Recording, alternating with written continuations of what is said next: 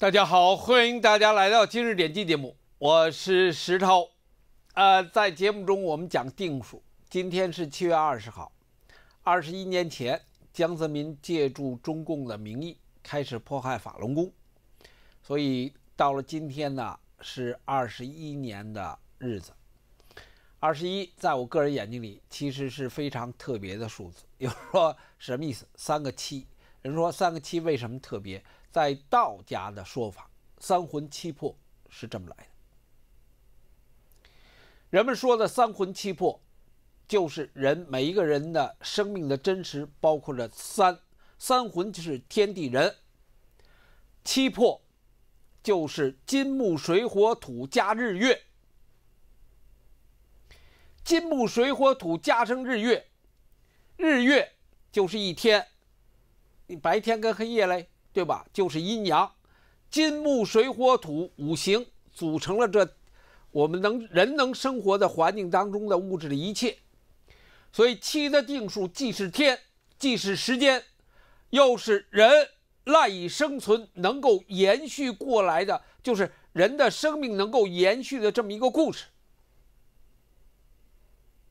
啊，就是这么一个故事。那人的生命有三层：天。地人三魂七魄，这是我想说，这是我跟大家解释这个数字。那回到今天，七二零，中共迫害法轮功二十一年，法轮功传出二十八年，天上二十八星宿，东西南北为四象，为四个方向，四象各成七，二十八。所以这是一个非常划时代的时间，语言很低，数字高过语言，而人们以年作为真正定数的计算。有人说什么意思？你爹死了，叫天年，对不对？这是定数的。为什么叫天年啊？这一圈结束了，对不对？到时间就结束，那是定数。所以今天是个非常特别的日子，在今天的年代，在当今的年代中，其实所有人都是机会了，而这一份的机会就看你的选择。啊，我以为就是看你的选择了，那人们选择什么？呃，你就从他的行为中可以看到，中国在半壁江山遭大水，习近平到现在不露面。在常委开会，那都胡说八道，没用的那东西，狗屁那是。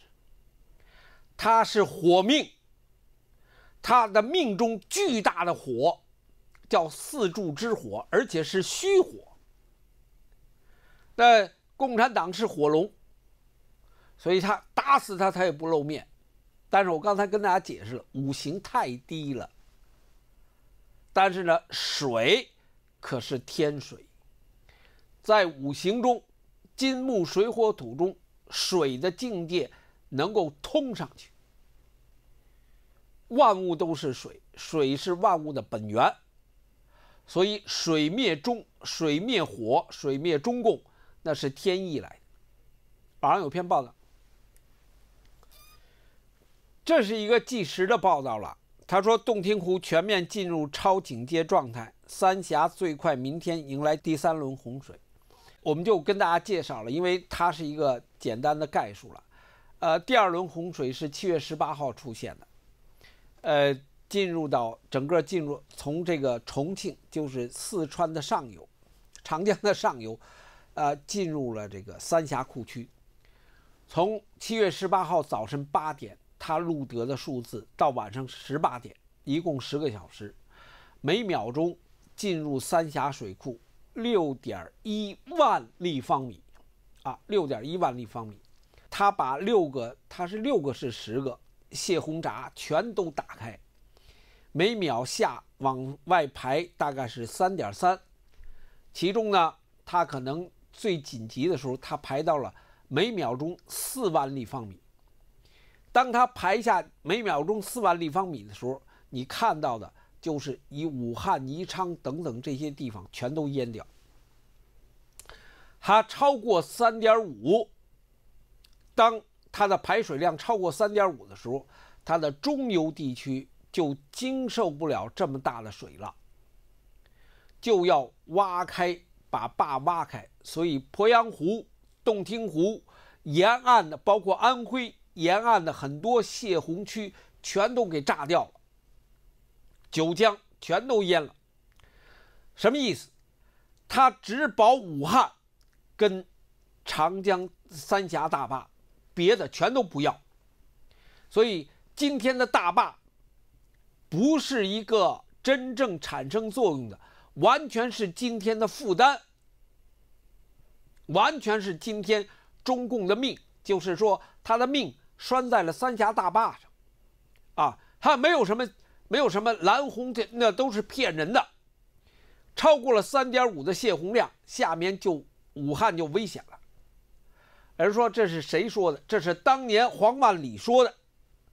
黄万里是中国的水利专家的首席，是中国的地质部部长。呃，他持续的水，你就会看到，就是他每秒钟六点一立呃六点一万立方米进入三峡库区吗？三峡库区从宜昌一直到重庆六百公里，宽度只有一公里，所以。太大的降水下来，水往上倒灌，你就看到了重庆被淹。有人说山城怎么会淹？是它，它是山城了，但是从山的两侧都是大到暴雨，水下来之后，长江的水根本承受不住这么多水，就往上顶，所以朝天门被淹了。黄万里当时就这么讲，这就是三峡。这是真正三。他现在说的是明天二十一号将来到第三轮的大水，同期在长江的中下游地区，同时大到暴雨，所以贯穿了包括湖南、湖北、安徽、呃浙江、江苏都有。今天的南京，呃，快成了水底下成王八了。呃，他说在太湖里有一个什么这个酒店，酒店是半圆的，那个很美了，在太湖边上。结果现在把酒店大概淹了十层，所以划船进酒店，如果你进去的话，那我都不知道它它里头应该那个灯啊、电啊全都完蛋了，因为它本来是个是个鸡蛋型的，它现在出咔嚓淹了差差点一半所以上下加上这个下边的那个水里面的。暗影呢，就成了一个圆儿。酒店一半在水底下，在太湖里头，一半在上头，你不是王八吗？对不对？所以这是我们看到它下游地区同样是这么淹的。呃，专家回答三峡大坝的质疑，BBC 写的这篇文章不咋地。我说它不咋地的原因就是，太多的人站在了一种。现代的知识的角度去说，我看过这个这个专家的答复还是什么，呃，千年一遇，万年一遇，万年一遇那是猴，对不对？你你你你得问问那个那个北京的山顶洞人，说当时有多大的水，万年不遇，对不对？那你反过来说，万年不遇，当初一万年前的时候，地壳可不是现在这样。所以胡说的很科学，胡说的很相信，啊，胡说的很科学，很相信。一万年前，大陆的地壳，欧亚板块跟太平洋板块、印度洋板块根本就不是现在这样。一万年前，那北美大陆跟欧亚大陆是连成一体的，没有南极，南极跟澳大利亚大陆是连在一起的，你信不信？还吹牛皮呢？中共官媒承认三峡大坝位移、渗流跟变形。十九号的报道，新华社，他在报数着六点一万立方米的时候，他承认位移、渗流跟变形。呃，今天居住在德国的王卫洛，呃，中国的这个水利专家，三峡大坝的时候，他曾经参与过。呃，他就提出质疑说。到底大坝的下面位移了多少，渗流有多严重？他不，他不提了。那如果新华社这么报的话，就有着一种推卸责任在其中。呃，习近平何时露面？他太怕水了。江泽民当年一九九八年露面很早，他是只蛤蟆。江泽民露面的时候，就是曾庆红陪着，他是只螃蟹。所以在宜昌，在宜昌当初二零一五年挖出来的是一只蛤蟆，一只螃蟹。是镇江用的，镇长江用的，呃，每个东西每个石头有十大概十吨左右，所以他当初他是我到现在都跟大家讲，他是个人，就是当初纣王是个人，周边全是妖精。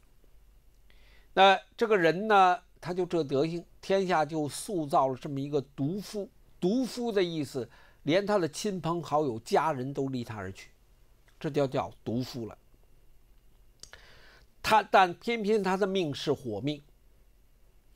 那江泽民是蛤蟆，曾庆红是螃蟹，那共产党是火命，那一对一的人他就死在妖精手里了，他完全毁在妖精手里了。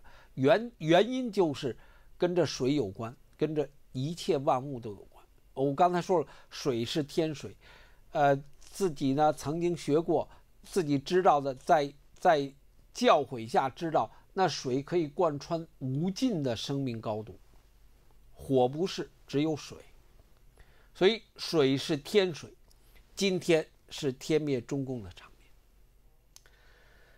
那好，这期节目就到这里，谢谢大家，再见。